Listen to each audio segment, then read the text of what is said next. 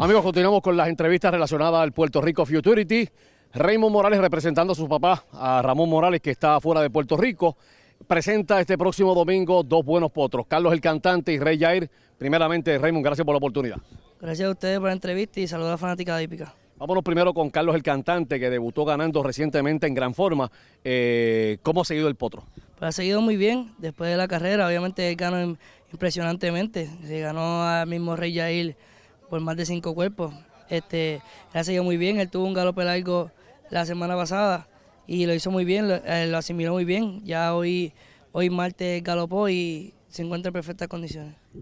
Me imagino que aquel día, porque Rey Jair se jugó fuerte, eh, siendo el favorito de la carrera y Carlos el cantante se lo ganó. ¿Esa victoria fue sorpresiva para ustedes? ¿Ustedes entendían que el Potro tenía el talento para debutar ganando? No, el Potro tenía habilidad. Él lo demostró en su último horizonte antes de la carrera. El Potro hizo 35. No cualquier Potro te visa 35 pero estaba debutando contra un Rey Jai que ya estaba corrido, ¿sabes? que estaba más fiteado, pero se lo ganó impresionante, ¿sabes? él le pasó en viaje, no dijo ni adiós y, y en verdad el potro ganó muy bien. ¿Qué esperas en el clásico? Pues mira, aquí todo depende de la partida. Entiendo, son potros, todo el mundo sabe lo que puede pasar en una partida. Eh, Carlos el cantante le tocó la, posición de adentro, Rey Jai sale del último de afuera.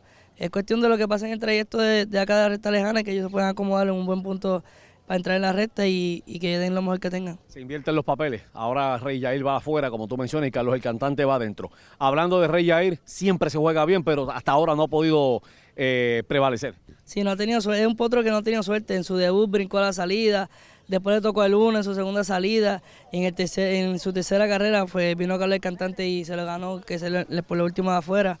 Potro no no ha, tenido suerte, pero para este clásico le hicimos unos cambios, le cambiamos las gringolas, porque yo en su última salida me dijo que es un potro que está inmaduro todavía, que le huye a los caballos, pues le cerramos un poco la gringola y le, ponimos, le pusimos a, Juan Carlos Díaz para, el clásico.